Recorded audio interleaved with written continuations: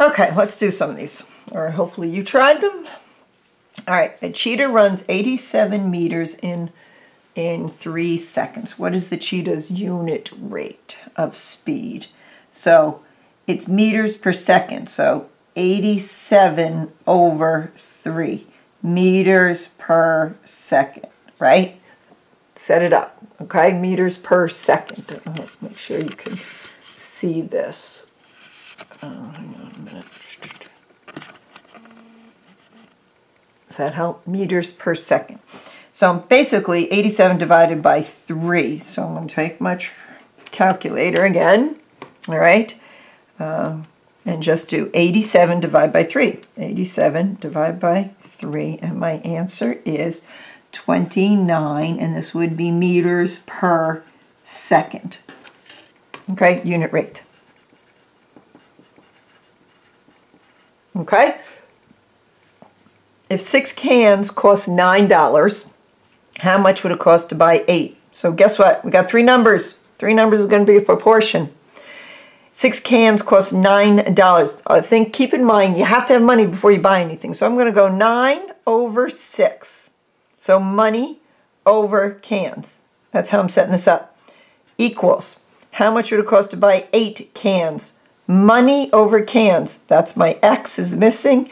8 on the bottom butterfly.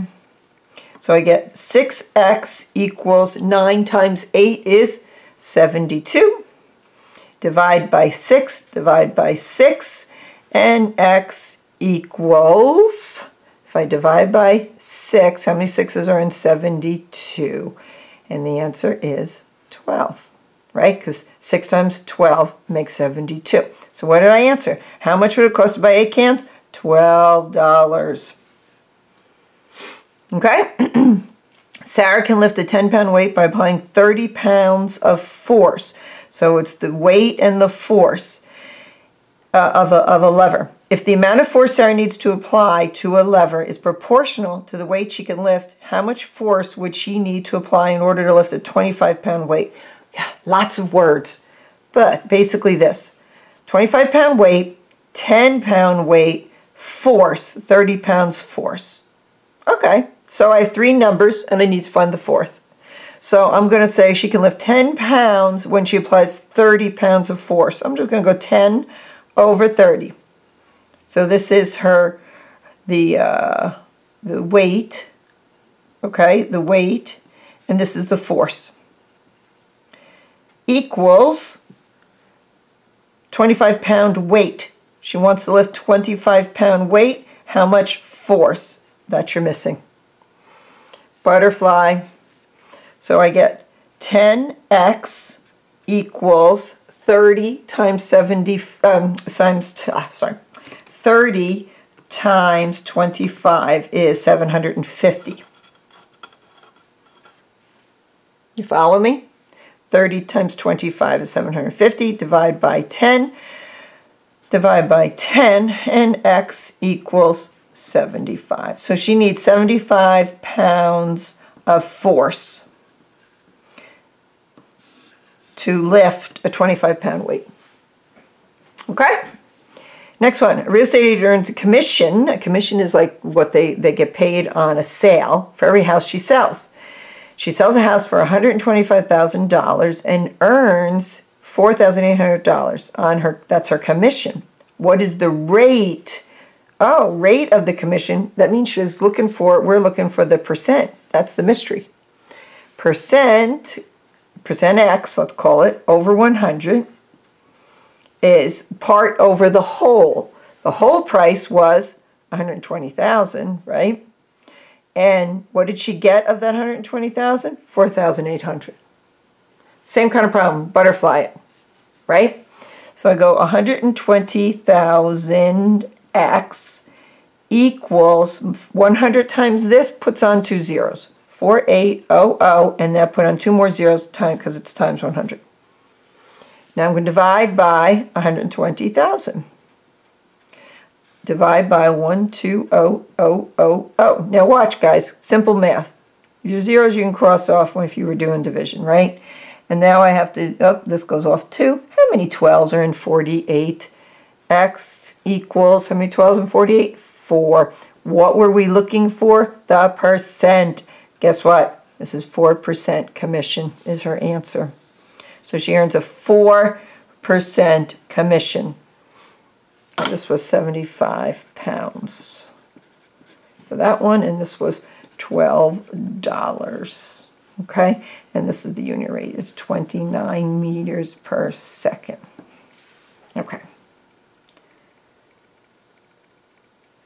Alrighty. A $62 handbag is on sale for 35% off. What is the sale price of the handbag? Show or explain how you found your answer. Hmm. 35% off of the $62 handbag. Okay, so there's a couple ways of doing this. We want to know what 35% of the $62 is. And that's what you will subtract from the original price to get the sale price.